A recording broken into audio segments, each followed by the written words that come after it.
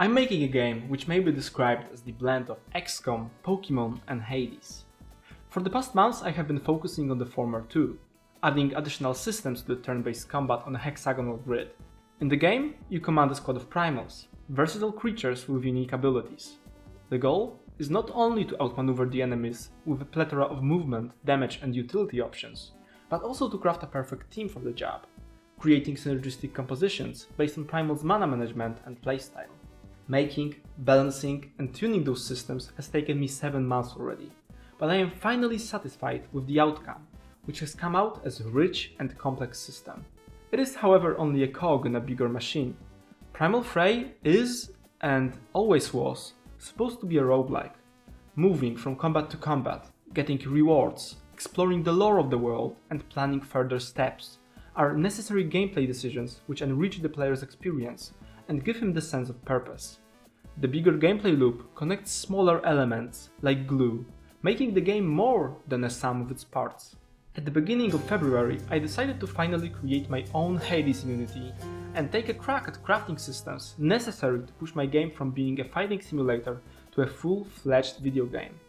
I am a visual-oriented developer. That means that I cannot stand greybox substitutes for UI, put in place to focus on the systems first.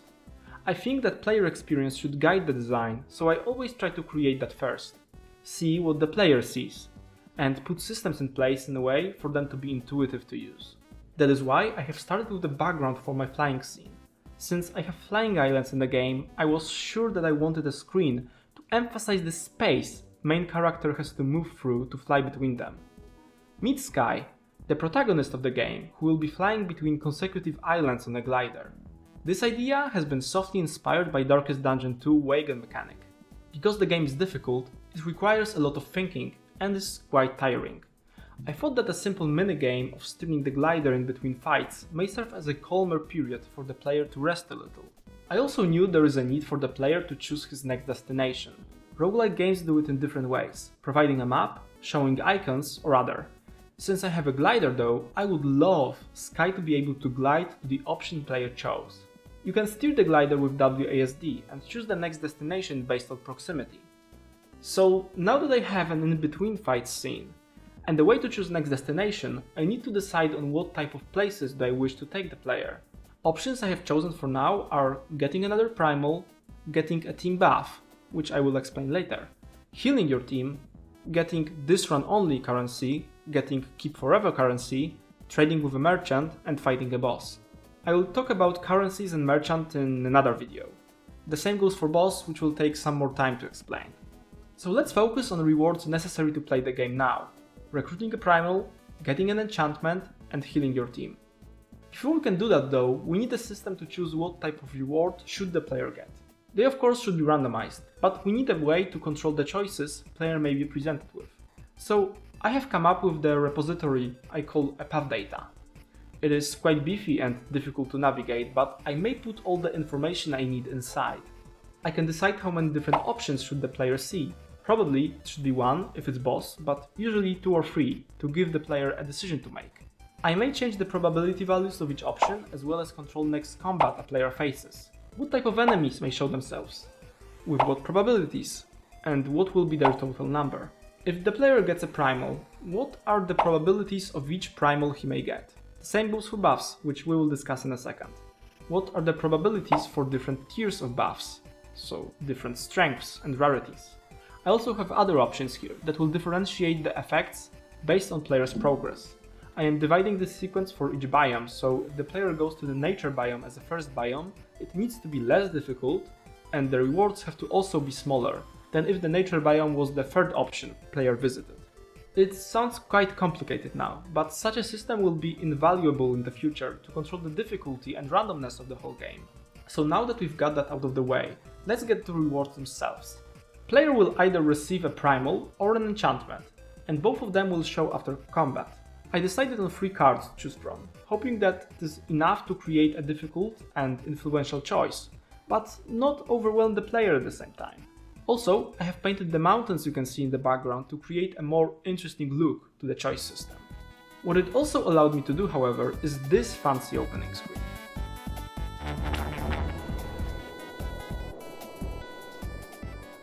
Choosing next primal is a straightforward enough choice, so I won't go into details with it. The buffs, however, are a whole other kind of worms. I wanted them to change as much as possible in the game, forcing the player to switch the way his whole team plays. Take these two for example. Selfish Protector lowers amount of shield your teammates receive, but improves your own shielding. A good candidate for that may be Lutum, as he is only able to shield himself. Here, it is a no-brainer. Faxran on the other hand is supposed to shield as many allies as possible, and its shield is an AoE, so you should never pick Selfish Protector with her, right? And in the middle example though, maybe Glacier, who shields a single target friendly primal. If you take the enchantment, his own shields and tanking potential will be way bigger, but he won't be able to pull his teammates out of a pickle so easily. Another example of an interesting enchantment may be Nature, or any other mana color, Ebb and Flow. It makes all abilities of this color free to cast. It's an amazing advantage of course. Not needing to provide mana to use abilities is a big convenience. However, it comes with a heavy cost of lowering the damage by half. Such a choice works well with expensive abilities, such as those of Anita Rana. It can now destroy hexes each turn with the biggest obstacle, which is usually the mana cost, removed. Since the ability doesn't deal any damage, there is no downside. You can imagine though that cheap abilities or abilities that generate mana are a no-go with this buff. For the first batch of enchantments, I added a meek 53, and there is a lot more to come. They also come in three different tiers, allowing me to control how strong of a reward the player gets. It is also randomized of course. To show the current build of the player's team, I have also added a squad panel. All the primals with the current HP and all the enchantments are visible there. The rocks slide in and out when you open it too, which is a cool effect in my opinion. And yes, I mentioned current HP. I took a lesson from Darkest Dungeon, you see. If you know the game, you should also know that Red Hook Studio had a problem with healing strategies players used. Basically, players would lower enemy numbers to one weakest opponent, so that then they can freely top up on healing before the next encounter. To combat this boring strategy, the devs implemented round counters. After 5 rounds or so in combat, the reinforcement would arrive to aid the enemies. It resulted in a time limit of sorts forced on the players, to make them kill the horrors quickly and without any cheese. I sometimes enjoy to have long and drawn out fights, and it would be difficult anyway to limit the time of a single fight in Primal Fray. That's why I have decided to not implement healing primals at all. It has been a conscious decision since the beginning. Instead, there is a shield mechanic in the game. It serves the same purpose in combat, as it may mitigate the damage received. However, it cannot restore Primal's health if lost, so there is no endgame shenanigans. Because of that, there is a need for a different, not abusable healing mechanic in the game. I decided on a simple 50% whole team healing encounter for now.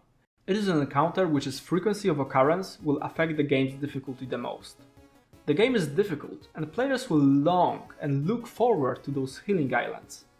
If someone preserves his primals well by playing smart, he may be able to risk choosing a different reward now than again. By omitting the healing islands, you get more rewards of other types, if you survive that is. One more thing I knew I had to add was a tutorial.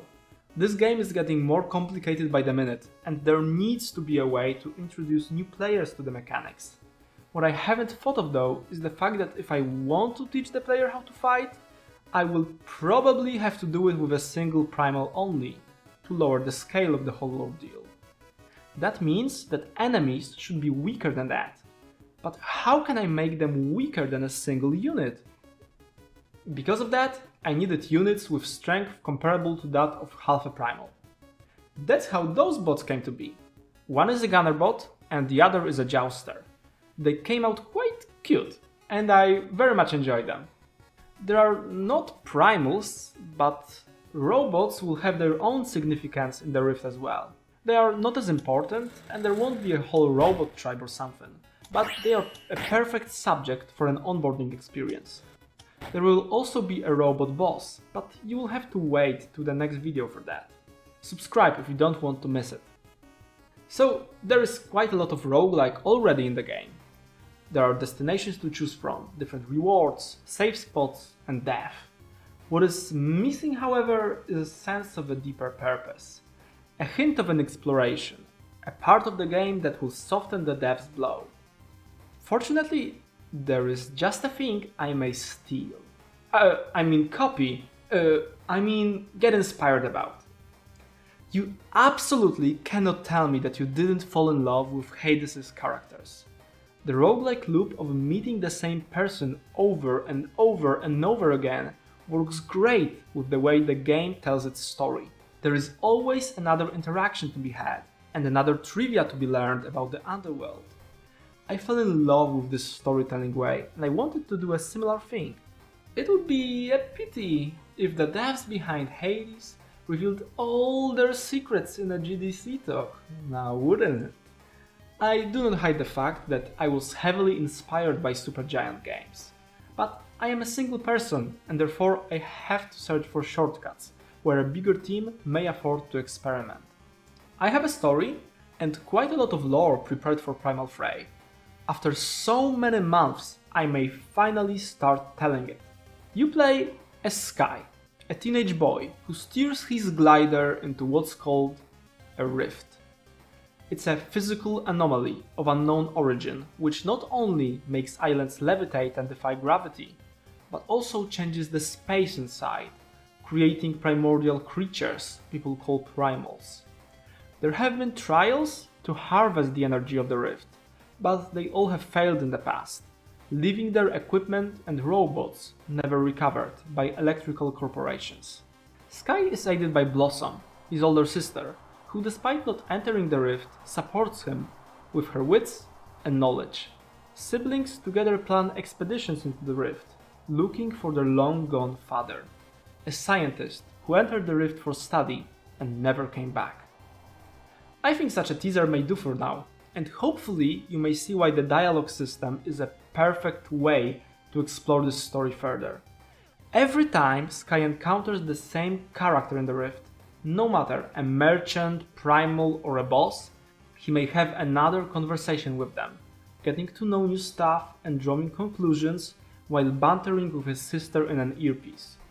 Recruiting new primals is then a perfect opportunity for me to show their different characters, ways of thinking and tempers New lore hiding behind every corner will hopefully motivate the players to explore the world of Primal Fray, as well as loosen a fear of loss a little, as each death will also push the story forward.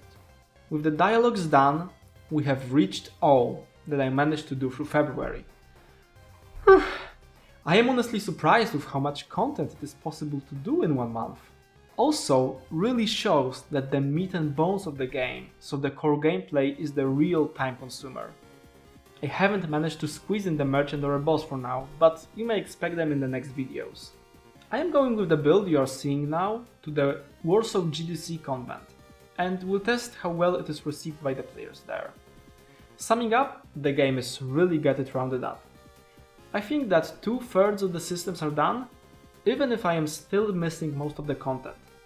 If you want to play this build, it is available on the game's Patreon for $3 to keep forever. If you want to see the game come out, it is the best way to support it, as whole money I get there will pay musicians and other artists I may outsource work to. Also, if you want to see how AI works in video games and how to start making it yourself, you may check out the video visible on the screen right now.